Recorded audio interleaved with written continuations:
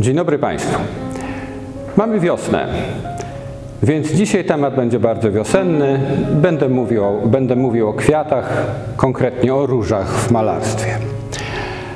Przed nami tryptyk pochodzący z lat 90. XV wieku, namalowany przez artystę lombardzkiego Ambrogio da Fossano, zwanego Bergonione.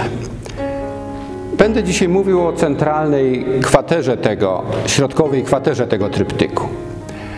Widzimy tutaj Madonnę z dzieciątkiem na kolanach. Madonna siedzi bezpośrednio na ziemi, co jest dla nas istotne, a poza tym za plecami Madonny znajduje się krzew różany. I chciałbym, żebyśmy zastanowili się nad tymi dwoma zagadnieniami.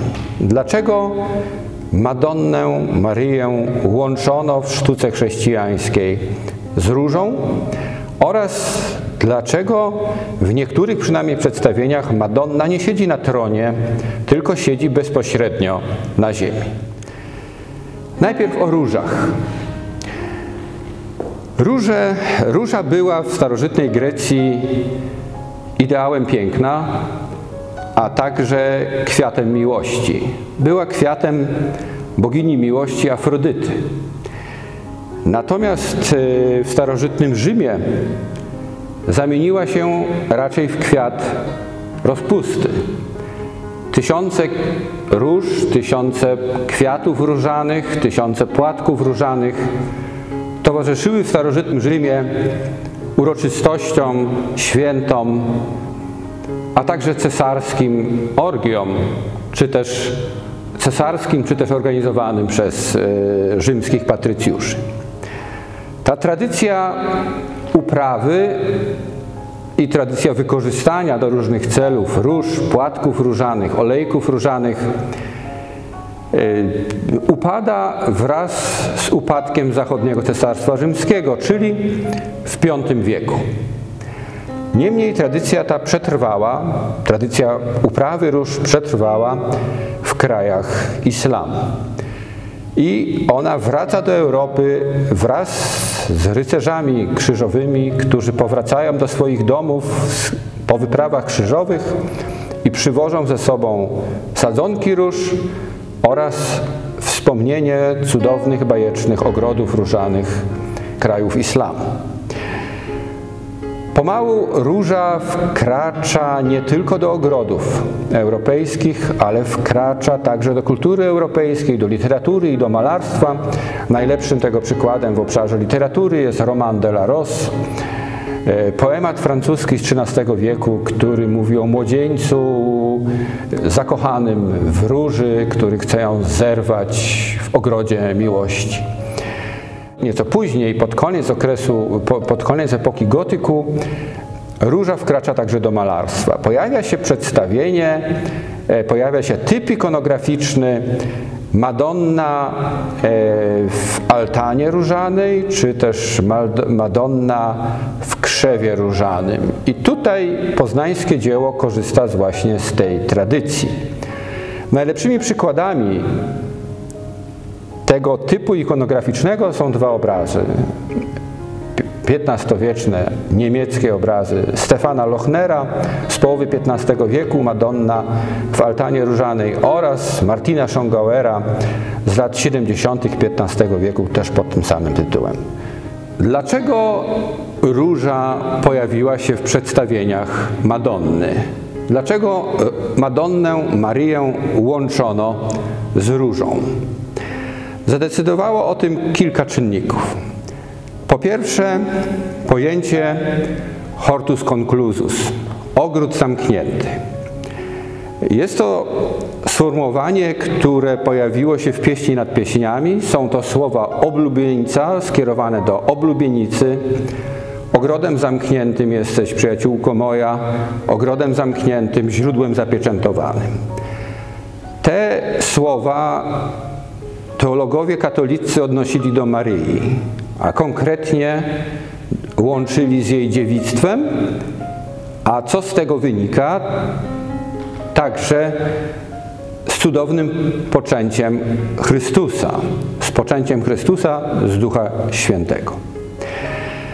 Tak więc o łączeniu postaci Marii z różą e, zadecydowała także symbolika samej róży, nie tylko ogrodu zamkniętego, ale także samej róży.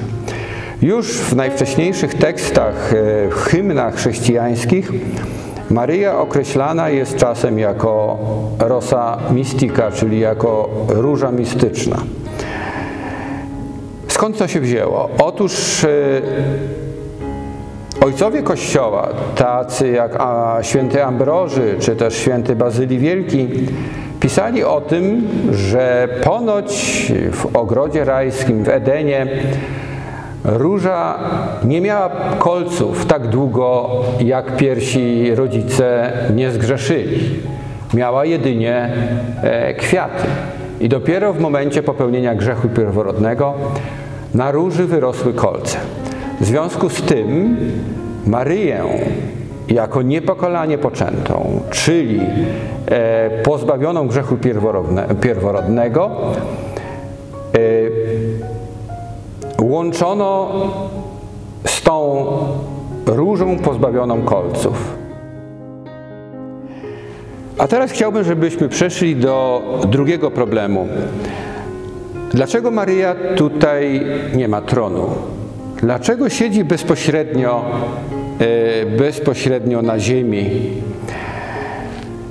Takie przedstawienie, taki typ ikonograficzny określa się mianem Madonna humilitatis, a więc Madonna pokory.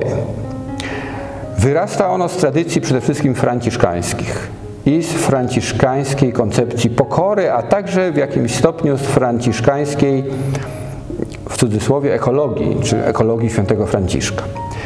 Maryja siedzi bezpośrednio na ziemi, pozbawiona jest tronu, ale oznacza to, i to jest podstawowa myśl teologiczna tutaj zawarta, tu i w innych tego typu przedstawieniach, że tronem Maryi jest cała natura, cała ziemia. Y, chciałbym, żebyście Państwo zwrócili uwagę na jeszcze jeden fragment tego obrazu, którego przy pobieżnym oglądzie możemy w ogóle nie zauważyć. Ale on ma bardzo duże znaczenie symboliczne i także teologiczne. E, otóż pod stopami Maryi możecie Państwo zobaczyć profil skalistego gruntu.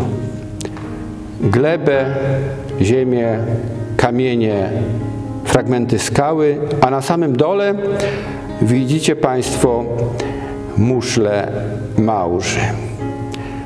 To jest dosyć typowe takie akcentowanie ziemi, gleby jest dosyć typowy właśnie w owych przedstawieniach Madonna Humilitatis. Dlaczego? W jakimś stopniu ma to uzasadnienie w warstwie językowej, albowiem łacińskie słowo humilitas, czyli pokora, pochodzi od słowa humus, czyli ziemia, gleba. I te dwa pojęcia ze sobą łączono.